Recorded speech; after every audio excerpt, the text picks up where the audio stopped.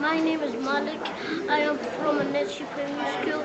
My dream dream is Vice China to cause, um, not cause too much pollution because it is making.